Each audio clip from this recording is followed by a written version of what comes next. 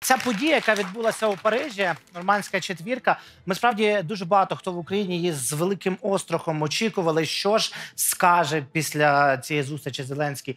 Е, Всі чекали якоїсь, ну можливо, навіть і ну не всі, а багато хто чекав, е, що якісь е, будуть ну просто такі очевидні зради. Цього не відбулося. І знову ж таки, деякі експерти відзначають, що відсутність результату в форматі перемовин з Володимиром Путіним для України також може бути цілком непоганим результатом. Але запитаюся е, думку Квурта, як ви оцінюєте цю зустріч і те, що ми знаємо за її підсумками, тому що підозрюємо, що багато чого не знаємо. Доброго вечора.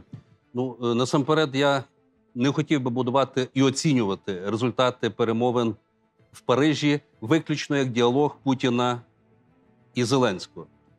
Все, що відбувається в світі, любі переговори, які ведуться і стосуються нашої з вами держави, це інтереси України.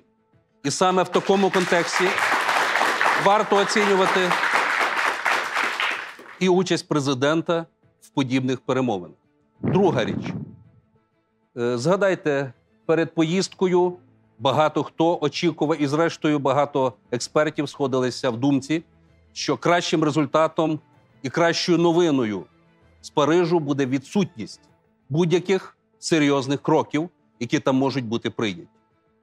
І я переконаний, що сьогоднішні перемовини, які відбулися в Парижі, е, дали саме такий результат.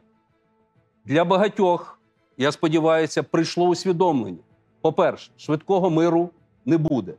Друге, перемовини і результат завершення війни на сході України лежить в Кремлі.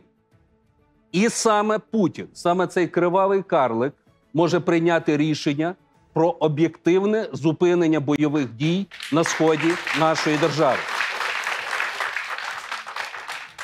Третя річ. Безперечно, на сьогоднішній день мінський формат перемовин є дещо програшним до України. Як довго би не вели перемовини, ми можемо лише утримувати діалог з світовою спільнотою в обмін на підтримку. Зрештою, напередодні прозвучало рішення Генасамблеї ООН Ради безпеки про необхідність виведення військ з Криму. Надзвичайно важливий сигнал. Друге, прозвучали сигнали від багатьох європейських лідерів про продовження санкцій стосовно Росії. І це теж треба відзначити. Третє, ми говоримо про те, що Путін не продемонстрував, а він і не ставив собі за мету завершення будь-якого конфлікту в Україні. Він сьогодні приглядався, він імітував десь поведінку нашого президента і пробував загравати з ним, чітко усвідомлюючи, що будь-які інші речі в Парижі конструктивні, прийняті бути не можуть.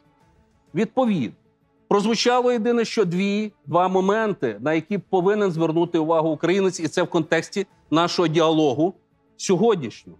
Путін чітко дав зрозуміти: там, де звучить російська мова, там Росія.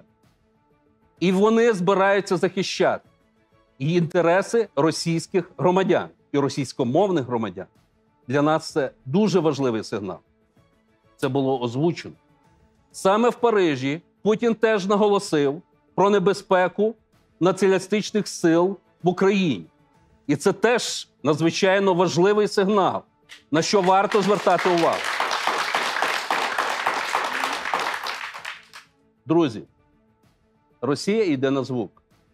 Чує російську мову, туди йдуть російські танки. І нам це треба пам'ятати. Третя річ, четверта, вірніше.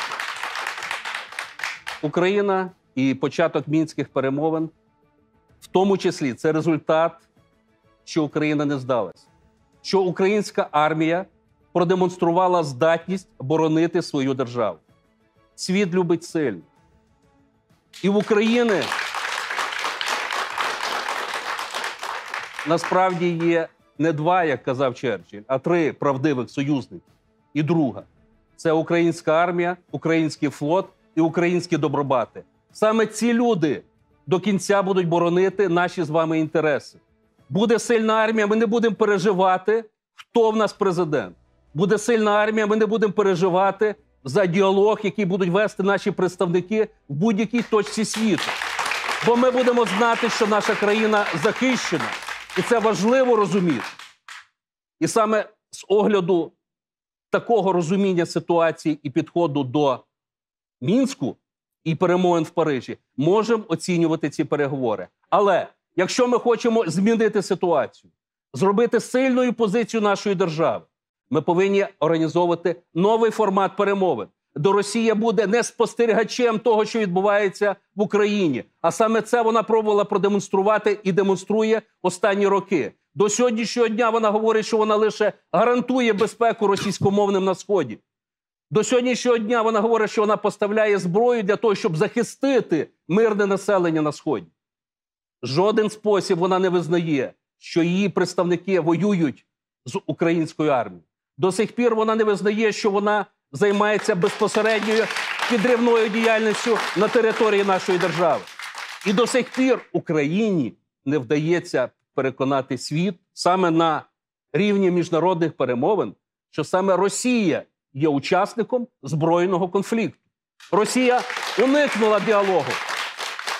Щоб цього добитися, нам потрібно піднімати розмову про Крим вже сьогодні.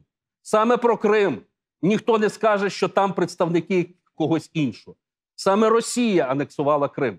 І саме в такий спосіб необхідно спонукати світове співтовариство вводити нові, більш серйозні санкції, які зможуть заставити Росію перед крафом навіть фінансової системи Росії до реального діалогу і до повернення українських територій.